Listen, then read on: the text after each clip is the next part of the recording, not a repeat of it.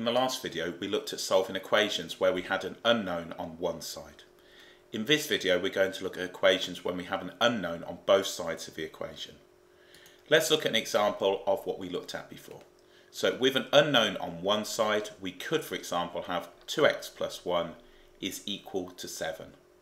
We saw in the last video that we would subtract 1 from both sides of the equation. That would give me that 2x is equal to 6 then we would divide both sides of the equation by 2 and that would give me x is equal to 3. So we solve the equation for the unknown which is x. We check that that works. 2 times by 3 is 6 plus 1 is 7 so we can say that is correct. What we're now going to consider are equations where we have the unknown on both sides. So let's start off. 4x plus 5 is equal to 3x plus 12. So this time we have an x on the left hand side and an x on the right hand side. The way I like to solve these is to get the x's on one side and the numbers on the other side. So using exactly the same approach as I did before, I'm going to subtract 3x from both sides. The reason I'm choosing this side now is that we have a smaller quantity of x's. If I subtracted 4x from both sides, I'd end up with negative x. Just see these now as a set of scales. These are balanced because we have the equal sign. So what we do to one side, we must do to the other. So I'm going to subtract 3x from both sides. If I do that, I'm left with just 1x over here, plus the 5 is equal now to the 12. So I'm just subtracting 3x from both sides. So if you can imagine these were weights, just lift them off, we're left with one of these unknowns, plus 5 is equal to 12. We simply need to subtract 5 from both sides of the equation, and that will give us now that x will be equal to 12 minus 5, which is 7. So all I've done is step by step to undo this and get the x's alone on the left and the numbers on the right.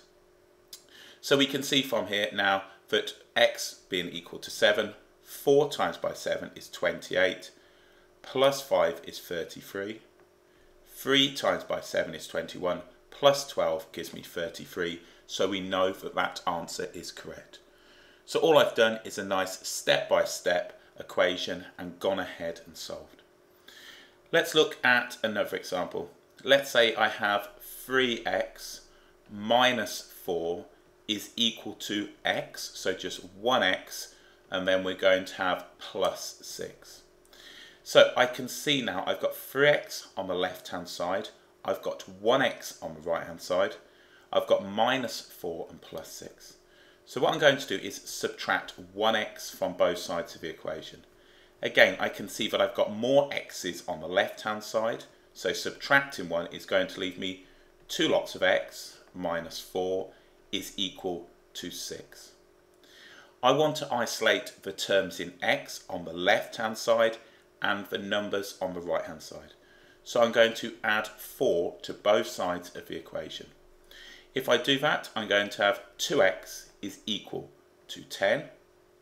I want 1x, so I'm simply going to divide both sides of the equation by 2. All we're doing is following on from the last video and using exactly the same technique. So if this isn't making a lot of sense to you, please go back and watch that video as this is all we did. We did step by step, we isolated the unknown, so we got it by itself, and then went ahead and solved.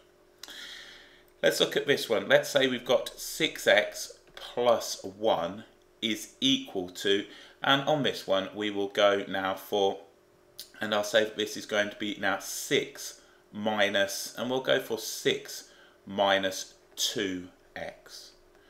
We want to solve for x. So I've got over here 6x plus 1, and over here I've got 6 minus 2x. So what I'm going to do to both sides of the equation is add 2x. If I add 2x to this side, we can eliminate this negative 2x. So just adding 2x to both sides, so plus 2x, so plus 2x, 6x plus 2x is 8x, plus 1 is going to be equal to 6. So if I added 2x, we're going to end up with no x's. At this stage, I'm going to subtract 1 from both sides of the equation. I want the x's on the left-hand side and the numbers on the right-hand side. So if I've got add 1, I need to subtract it. If I have subtract 1, I would add it. So we end up now with 8x is going to be equal to 5. We now go ahead and divide both sides of the equation by 8. We want 1x, not 8 x's. So dividing both sides of the equation now by 8, we get 5 over 8. And this is our answer. Again, don't worry that that's not a whole number or integer. That is the solution. We can check that by substituting back in if we like and see that it will hold for this equation. So don't be concerned if you come up now with a non-integer value. We can go ahead and work out what this will give us. So if we look at this in a calculator, if we now put in 5 eighths, so we can say 6 lots of 5 over 8, so that's my answer for x. And then if I add 1 to that, that's going to give me now the value of 19 over 4. So let's just write that in. So if I now substitute this in to the other side, what we're going to have is 6 minus 2 lots of the value of 5 over 8. And this should give us exactly the same, 19 over 4. So if we do that, we will see we get 19 over 4. So we can see that it works. Remember, the equation must balance. Let's try another one. Let's say we've got now on, and we'll go for, let's go for now, we'll say 10 minus 5x is equal to 3 minus 2x. So what we've got here are now negative x's on both sides. What I'm going to do is try and make them positive, and I'm going to add 5x to both sides of the equation. So if I add 5x to both sides of the equation, that's going to give me that 10 is equal to 3 plus. So if I have minus 2x and I add 5x, that's going to give me 3x. I want to solve for x, so I'm going to isolate this term and subtract 3 from both sides of the equation. That's going to give me 10 minus 3, which is 7, is equal to 3x. I simply need to divide by 3 to find the value of 1x. So dividing both sides of the equation by 3, we can say that x is going to be equal to 7 over 3. And that now gives us our answer. Again, check it in a calculator if you like. Okay, let's now introduce something slightly different. Let's say we've got three lots of 2x plus 7 and that's going to be equal to, let's say, 4x, and then we'll add, let's say, 41. This time we've got single brackets in here. So what we need to do is multiply out the brackets and go ahead and solve. So in the tutorial on expanding brackets, we saw we multiplied everything on the outside by the inside. So 3 times by 2x is 6x.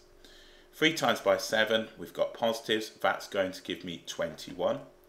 That's going to be equal now to 4x plus 41. At this stage, I'm going to get the x's on the left-hand side by subtracting 4x from both sides of the equation. So when we're at this stage, we're back to solving as we would normally. That leaves me that 2x plus 21 is equal to 41. I want to solve for x, so the first thing I need to do is subtract 21 from both sides of the equation. So if I subtract 21, that's going to give me that 2x is equal to 20. All I've done is taken 21 off both. I'm now going to divide the equation by 2 on the left and on the right. So we're going to get x is equal to 20 over 2, which is 10. So we end up now with x is 10. If we wanted to find if that worked, substituting back in, 2 lots of 10 is 20, plus 7 gives me 27. 3 times by 27 gives me 81. If we look on this side, 4 times by 10 is 40. 40 plus 41 is 81. So we can see that this is the correct answer. So we've gone ahead and solved an equation with brackets. Let's just do one more. We'll have a go at another one, make it slightly more challenging this time. Let's say we've got two lots and we'll go for, uh, let's go for 3x plus 14. Uh, and that's going to be equal to 3 lots of x plus 9. We'll go for x plus 9 and then we'll subtract 11. So let's go ahead and expand this out. So 2 times by 3x gives me 6x. 2 times by positive 14 is going to give me now 28. Expanding the brackets, we're going to have 3x plus now the 27 and then minus 11. So I can tidy this up a little. I can write this now as 6x plus 28 is equal to 3x plus 18. So all I've done, uh, plus 16, sorry, let's just do that, plus 16. So all I've done at this stage, let's go ahead and rewrite that in. So that's going to be plus now the 27 and minus the 11, so we get 3x plus 16. At this stage now, we're back to where we were. I've got 6x over here, which is positive, 3x on the right hand side, so I'm going to subtract 3x from both sides of the equation. Now you could say at this stage, I'm going to go ahead and subtract 28 from both sides of the equation. It's entirely up to you. I'm going to subtract the 3x from both sides. That's going to give me now that 3x plus 28 is equal to 16. I'm now going to subtract the 28 from both sides, so subtracting 28. That will just leave me now 3x is equal to some number.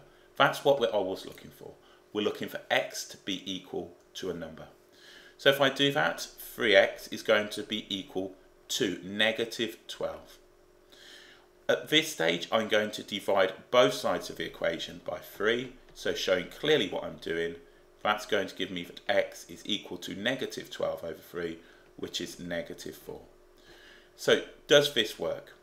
Well, if we substitute it in, 3 times negative 4 is going to give me now negative 12, plus 14 is 2. 2 times by 2 is going to give me 4. If I substitute this in, what we're going to have is now with a negative 4 here, that's going to be 5. 3 times by 5 is 15, minus 11 is 4. So we can see it holds now when x is equal to minus 4. We'll finish with one more. Let's say we have now x plus 11 plus 2x is equal to 3 and then we'll have x minus 4. So the first thing I'm going to do on the left hand side is collect like terms.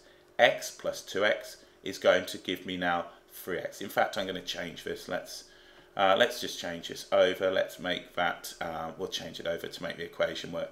That one wasn't going to work. So let's do um, x plus 12 uh, and then we'll have plus 4x and that's going to be equal to 3 lots now of x minus 4. So collecting like terms, we can have 5x plus 12 I'm then going to expand the brackets, so expanding the brackets on the right hand side, 3x, and then we're going to have now minus 12. Don't be tempted here to say, oh, just take 12 off both sides and that will disappear. That's not the case. Plus 12 and minus 12.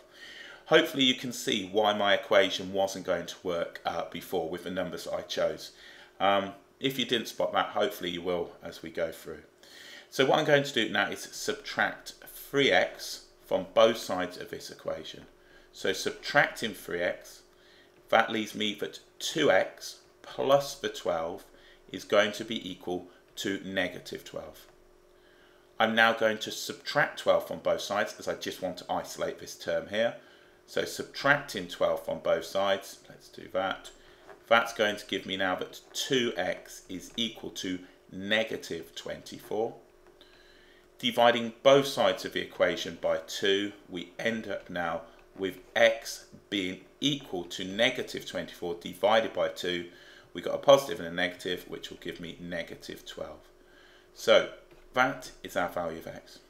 Now if we look at that and plug it back in, what we have here, and we'll do it from here, we're going to have minus 12 plus 12, which will give me 0. then I'm going to have plus 4 lots of minus 12, which gives me minus 48. If I put my negative 12 in here, that gives me 3 lots of negative 16. 3 lots of negative 16 is going to give me negative 48. So we can see that this is uh, true. So it holds true. So there we go, solving equations with unknowns on both sides. In a later video, we will look where we have fractions involved, but hopefully that's given you a good start. And the method that I've used is the balancing method. We discussed other methods in the last video. I think this is the best one, especially if you're going to take your maths any further.